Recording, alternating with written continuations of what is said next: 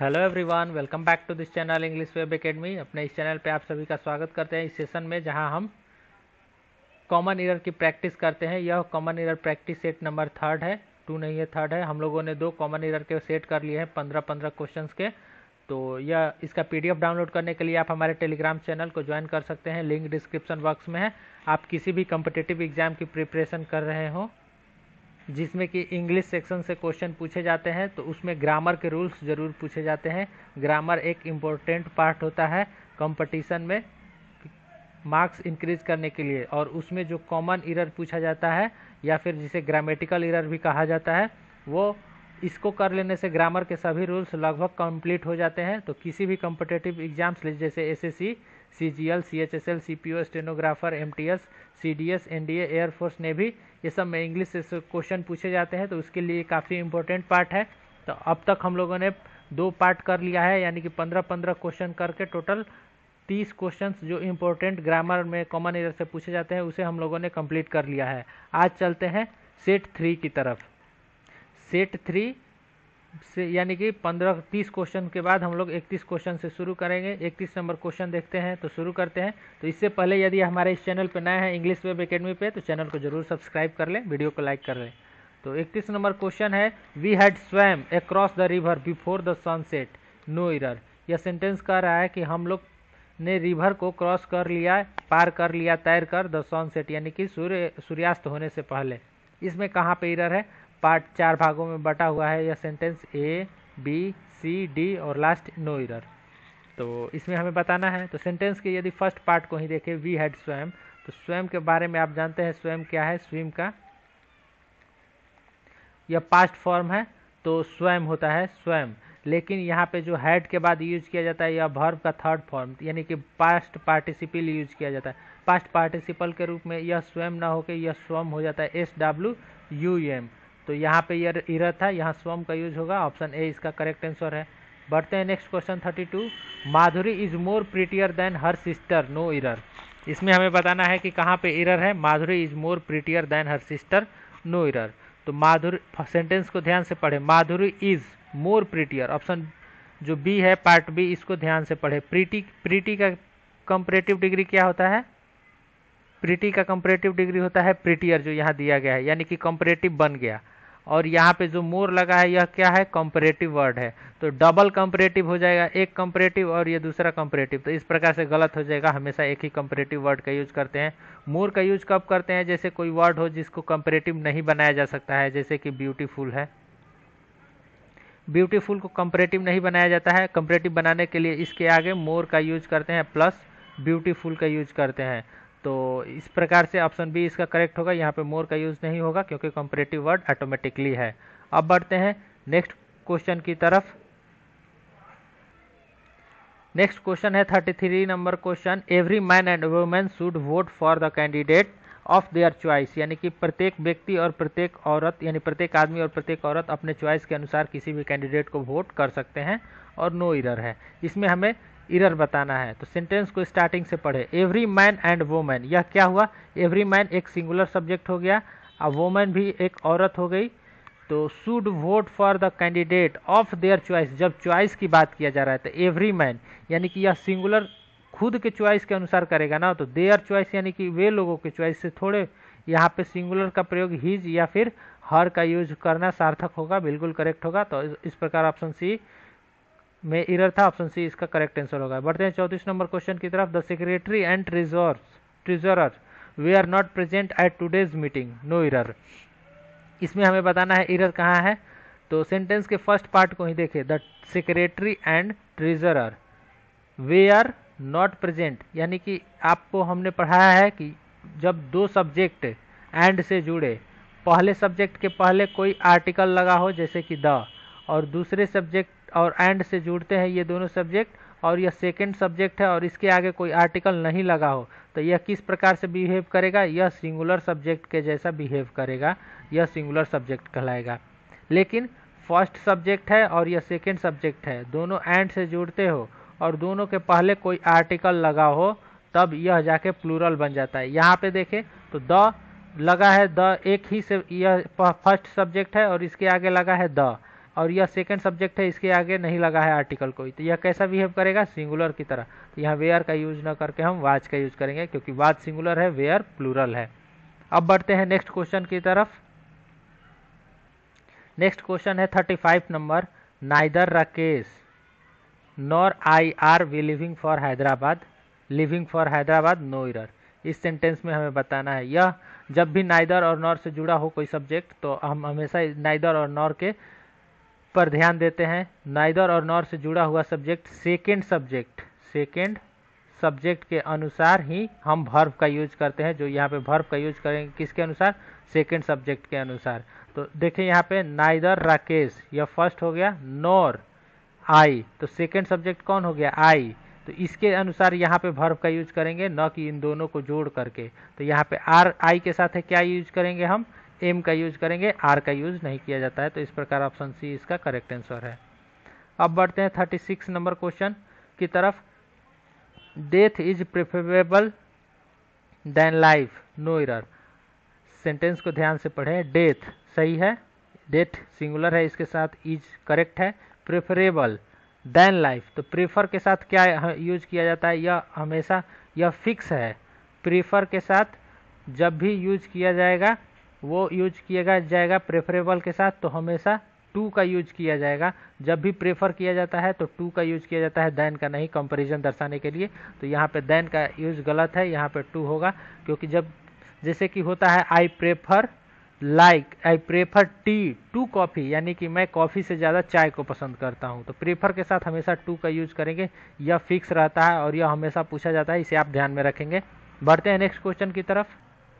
Next question है thirty seven number question Ramu closely resembles to his father not only his physical features but also in habits इसमें हमें error बताना है। तो Ramu closely यह ए part बिल्कुल सही है। B resembles to his father not only in physical features but also in habits तो यहाँ तक तो सही है, लेकिन रिसेम्बल जो वर्ड है, यह अक्सर पूछा जाता है रिसेम्बल क्योंकि रिसेम्बल के साथ नो प्रीपोजिशन कभी भी आए रिसेम्बल और कॉमन ईयर में दिया हो और इसके साथ कोई प्रीपोजिशन लगा हो तो आप हमेशा उसके साथ, उसको टिक कर देंगे, क्योंकि इसके साथ कोई भी प्रीपोजिशन का यूज़ नहीं किया जाता है, यह भी फिक्स है। तो ये सब फिक्स्ड क्वेश्चन होते हैं, इस प्रकार के क्वेश्चन तो इसमें ऑप्शन बी करेक्ट है, इसके साथ टू का यूज़ नहीं किया जाएगा। रिसेम्बल किसी भी प्रीपोजिशन को नहीं रखता है अपने साथ। नेक्स्ट क्वेश्चन है thirty eight number question after he had reached the two first chapter of the novel, he felt like reading the book at one sitting. यानी एक के बार बैठे हुए वह एक नोवेल के दो चैप्टर को पढ़ जाता है वह ऐसा पसंद करता है। एक क्वेश्चन कह रहा है और नो इरर है। इसमें हमें इरर बताना है कहाँ है। तो सबसे पहले सेंटेंस के फ़र्स्ट पार्ट को देखें। आफ्टर ही हैड रीड सही है? After he had read the two first chapter यहाँ ऑर्डिनर ऑर्डिनरी ऑर्डिनरी के प्रकार को हम देखें, जिसे कहा जाता है। तो यहाँ पे ही इरर है। किस प्रकार का इरर है? तो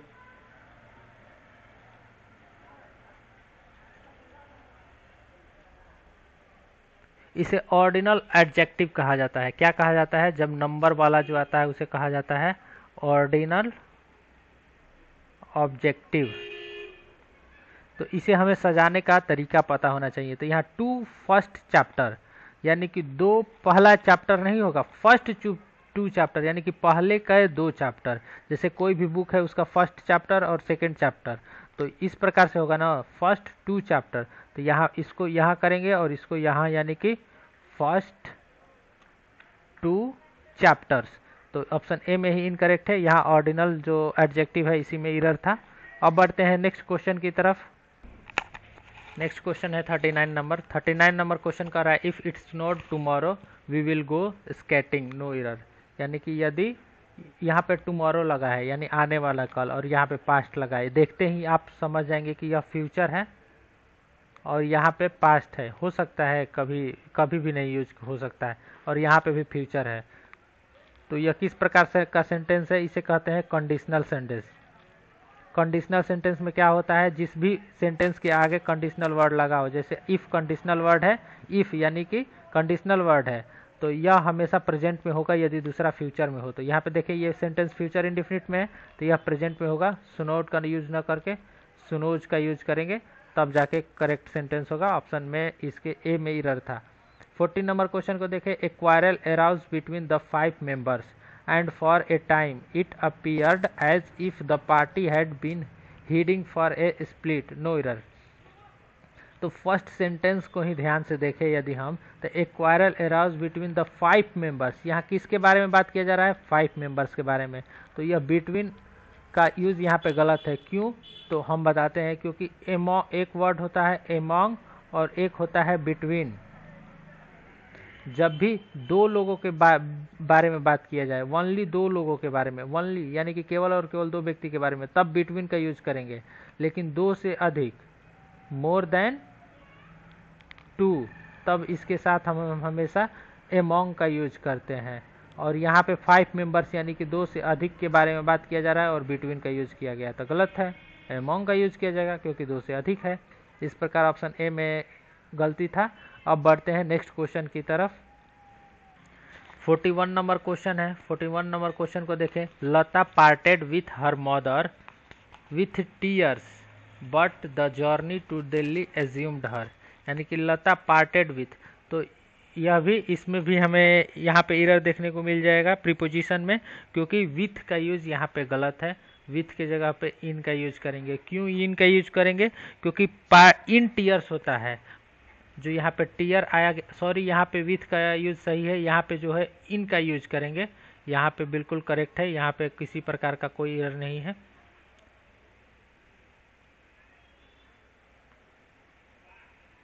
तो यहाँ पे देखें तो इन टीयर्स यानी कि आंसुओं में, इसका मतलब होता है आंसुओं में। Lata parted with her mother यानी कि अपनी माँ से अलग। पार्टेड विथ यानी क्या होता है? अलग होना।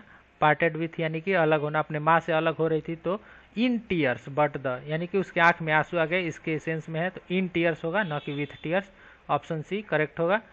42 नंबर क्वेश्चन देखें। Neither the size nor the colour but the gloves were right तो अभी एक क्वेश्चन आया था नाइदर नॉर से। नाइदर नॉर से एक क्वेश्चन आया था तो इस प्रकार के सेंटेंस को हमने कैसे बनाया था? जो भी यहाँ पे वर्ब यूज़ किया जाएगा, यहाँ पे जो वर्ब यूज़ किया गया है, वो किसके अनुसार होगा? वो सेकेंड वर्ब के अनुसार होगा। हमेशा second second sorry second subject के अनुसार यूज़ किया जाता है वर्ब सेकेंड सब्जेक्ट क्या है? पहला सब्जेक्ट है द साइज़ सेकेंड है नॉर द कॉलर तो यहाँ पे जो कॉलर है द कॉलर यह सेकेंड है। यह किस प्रकार का सब्जेक्ट है? तो यह है सिंगुलर सब्जेक्ट और सिंगुलर सब्जेक्ट के साथ सिंगुलर वर्ब का यूज़ करते हैं और यहाँ पे वेयर का यूज़ किया गया है जो कि प्लूरल है तो इसलिए यहाँ पे हम वाच का यूज़ करेंगे, तब जाके सेंटेंस करेक्ट होगा। इसके ऑप्शन डी में गलती था। अब बढ़ते हैं नेक्स्ट क्वेश्चन की तरफ़। नेक्स्ट है 43 number question every one of the staff present here as given a day's pay as their contribution to the fund यानी कह रहा है every one of the staff present here यहाँ तक तो सही है। As given as a day's pay as their contribution यहाँ पे देयर का यूज़ किया गया है और सब्जेक्ट देख रहे हैं कि एवरी का यूज़ किया गया है। देयर का यूज़ कब किया जाएगा? जब सब्जेक्ट दे होगा। दे के लिए जो आता है वो वो कहलाता है देयर और जो एवरी वन एवरी वन या फिर कोई भी सिंगुलर के लिए हम यहाँ पे किसका यूज़ करेंगे? यहाँ पे देयर का यूज़ न करके हम उसके जगह पे हिज का यूज़ करते हैं। तब जाके सेंटेंस करेक्ट होगा। तो ऑप्शन डी में इनकरेक्ट था।